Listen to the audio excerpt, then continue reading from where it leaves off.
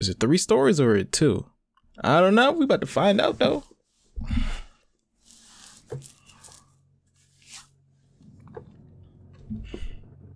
This happened like a year ago. Me and my mom were coming back from the store.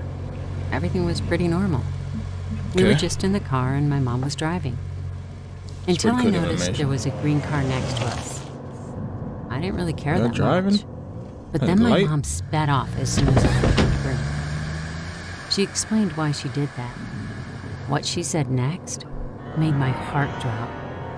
There were two women in that green car.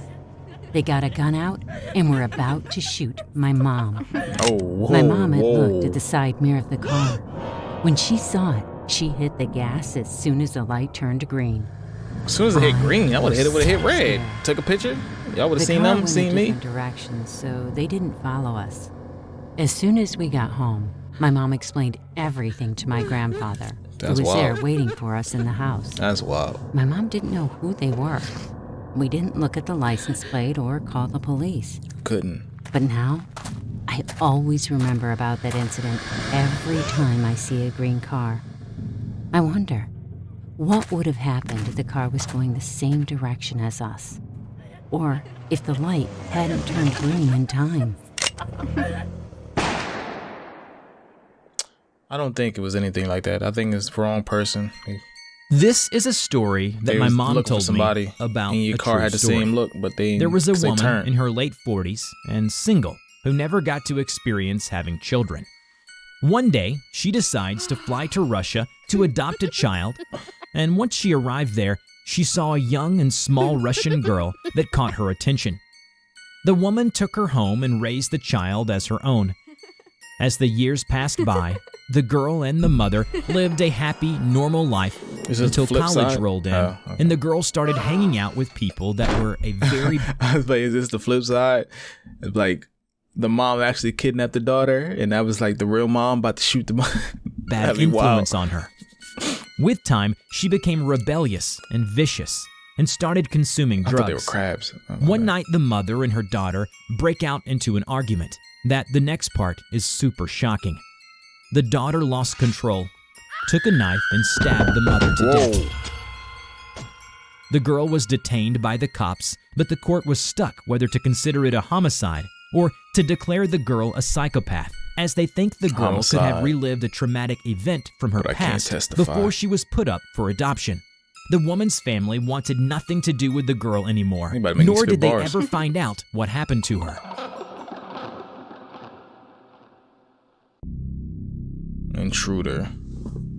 When I was a So kid, this story we lived three? in a three-story house, and our closest neighbors lived two miles away. It was a hot summer night when we decided to go for a swim at the beach nearby. It was just me and three of my closest friends. We were Mm-hmm. staying over for a few days while my parents were out of town. I see two people though. You said Once three. we were done, we reached our house and we noticed that one of the lights on the second floor was turned on. Did I hear that wrong? She said it was me and three of my closest friends, or she said two of my closest friends. We were staying over for a few days while my parents were out of town. Once we were done, Uh, we whatever. reached our Don't matter. house and we noticed that one of the lights on the second floor was turned on. We didn't think anything of it until we suddenly heard a loud bang and the light turned off. We all gasped and I dropped my keys on the floor. I'd reached for my phone in my pocket to call the police when I noticed that my phone had died. Suddenly, one of my friends grabbed the keys and opened the door. We called out for her to stop, but before we could grab her, she was already inside the house, rushing towards the stairs to get to the second floor. I asked my other friend to call the police with her step. phone while I went to look you thought for this was? friend. I kept the lights turned off and headed to the kitchen to grab a knife, then up to Her the second floor. I was halfway there when I stopped, holding the knife in front of me, and called out for my friend. When I didn't receive Hello? an answer, I got anxious and started slowly heading up. I heard someone whisper my name, but before I could reach the end of the stairs, I saw the police cars through the window. Whoa. Why is I there cops decided already? to let them do their job and deal with this. Must be some So crazy stuff going on now. stairs, tripping along Don't the way. fu- don't run with scissors, knives, I whatever. a breath away from the building, slammed on my face. Yo! She ran into the door. So I ran down the stairs, tripping along the way. She I was tripped. a breath away from the and slammed on my face. I was completely She terrified. stabbed herself or something. My heart was beating a thousand miles an hour. Before I could open the door again, I heard footsteps behind me and immediately froze. I Oh, slowly they the front turned door. around to see a dark figure on my right, pointing a gun at me.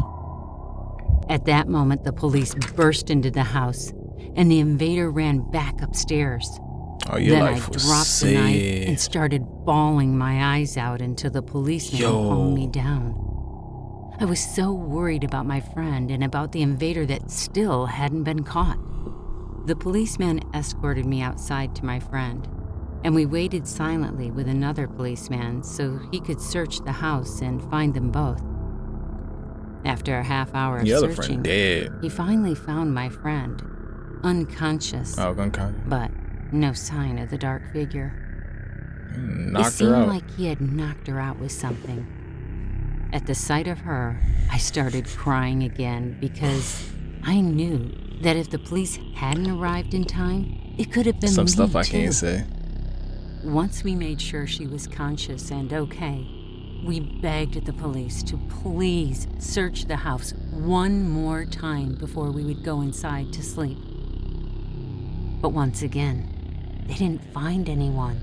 Okay. We were all so terrified that we decided to spend the night at a hotel nearby. you definitely should have. Five years passed, and my friends and? I had lost contact, since both of them had moved to different states, and it was hard to keep in touch. My family and I decided to sell our house and move, so we started to go through our things in order to decide what to keep, what to throw away, or donate. My parents handled the upstairs floors, while me and my sister handled the bottom floor and the basement. After a couple hours, it was time to move on to the basement when we stumbled on our father's old suitcase. Okay. We tried to pick it up in order to throw it away, Yo, so your father's but it and was stuff. very heavy, so we put it down and unzipped it. What we saw inside was The head? terribly horrifying. We saw the bones of a person and screamed. Yo. We immediately told our parents, and they called the police. When the police arrived, they took the bones away as we stood there watching. You're not It even was going then nowhere. That I recalled the incident that I happened get it though. all those years ago. And to this day, I still think about it. I was here stick. I was here just looking like why, why is he not moving? oh man. All right, y'all. Uh, that's creepy. That is creepy. Hey, do you ever walk into a All right, room and I'm in the video here. I am A Muffin. Check out the channel, A Muffin Gaming, A Muffin Reaction, A Muffin by itself. It, it most likely in the playlist. So if you want to check that out without me like explaining it to you, just look out the playlist. If you want to check out the content, check out the content. I'm not forcing you to do anything, but do it. and Moa, Moa.